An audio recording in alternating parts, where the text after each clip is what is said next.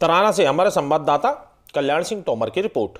बाबा का आशीर्वाद ले की मंगल कामना। श्री भैरव अष्टमी त्योहार। बाबा भैरव के भक्तों को नगर के भैरव मंदिर पर आज सुबह से ही भक्तों की भीड़ उमड़ रही थी।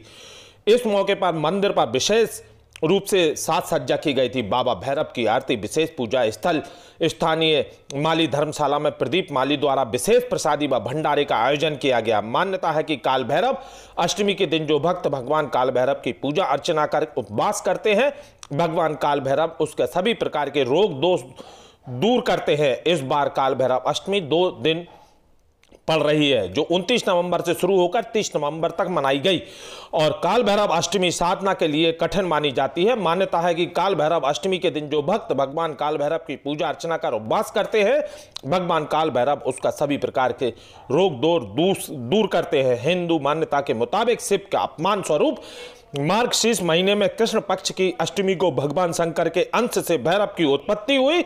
इसलिए स्थिति को काल भैरव अष्टमी नाम से जाना जाता है। सुल्तानपुर से हमारे संवाददाता नईम खान की रिपोर्ट। सैकड़ों छात्र छात्राओं की जान से हो रहा है खिलवाड़। सुल्तानपुर नगर से लगे आदिवासी बाहुल ग्राम उमरई, बहरा में स्थानीय शासकीय माध्यमिक शाला आए दिन सुर्खियों में है। इसका मुख्य कारण वहाँ पर अध्ययन कर रहे छात्र छात्राएँ अपनी जान हथेली पर रखकर शिक्षा प्राप्त कर रहे हैं। प्रदेश सरकार चाहे कुछ भी कहे, प्रदेश के गरीब बच्चों के लिए शिक्षा के क्षेत्र में अभी तक कोई परिवर्तन देखने को नहीं मिला है। कई स्कूलों में पढ़ने के लिए अध्यापक नहीं है तो कहीं प्रदेश में कई स्थानों पर स्कूल भवन नहीं होने से बच्चों को पेड़ की छाया में बैठकर अपनी पढ़ाई कर रहे हैं। ऐसा मामला ही सामने आया है सुल्तानपुर के ग्राम उमराई बैरा में। छठवीं से लेकर आठवीं तक के एक से नवी क्लास से लेकर दसवीं तक के 111 छात्र छात्राएँ शिक्षा प्राप्त कर रहे हैं। सच्चाई यह है कि बरसों से पुरानी बना स्कूल भवन जो कि खंडर हो चुका है। बरसात के मौसम में छत पर से पानी बांधकर बैठना पड़ता है, पनी बांधकर बैठना पड़ता है और बरसात के मौसम में पूरे भवन के अंदर पानी भर जाता है। इस भवन की छत में कई जगह तो दरारें पड़ चुकी हैं। विगत तीन वर्ष पूर्व राज्य शासन ने नया भवन बनाने के लिए एक करोड़ की राशि स्वीकृत की थी। राज्य शासन के विगत दस वर्षों का रिकॉर्ड। यह रहा कि निर्माण कार्य के ठेकेदार सत्ता पक्ष के लोगों के कारण ठेकेदार मनमानी के दाम दम पर काम करता है। यहाँ हाल है कि पता चला है कि भवन का ठेकेदार भोपाल निवासी है। इस बिल्डिंग का ठेका जिसको पढ़ना है क्या परेशानी आ रही है? ये नई बिल्डिंग बन रही है हमको ये नई दी जा रही है और इस खंडर स्कूल में। हमें बहुत डर लगता है। आपको बहुत डर लग रहा है इस खंडर बिल्डिंग में? नई बनने के बाद भी आपको नहीं दी गई है अभी? जी सर। कारण नहीं है। मेरे को सर यहाँ पर छठी क्लास में नाइन्थ क्लास में पढ़ती आ रही हूँ लेकिन ये स्कूल हमारा वो बिल्डिंग बन चुकी है। लेकिन उसमें हम सरकार बन तो गई है लेकिन दे नहीं पा रही हमको। लेकिन इसमें हम बैठते बहुत दिक्कत आती है। हम एक ही क्लास में तीन तीन क्लास बैठती हैं। इसलिए मैं चाहती हूँ कि आप मैं हमारी नई बिल्डिंग को तैयार कर हमें दी है। परेशानी आ रही है? छः साल हो गए सर।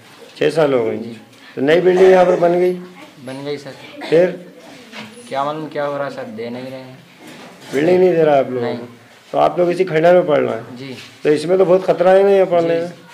बारिश के टाइम पे सर छत भी चूता है। हम्म, सब होता है और बैठने की व्यवस्था नहीं मिलती। अच्छा। और जो नई बिल्डिंग है वो अपने हैंड ओवर में हुई इस कारण सभी बच्चों को कुछ तो पढ़ाएँ अपन जी। में।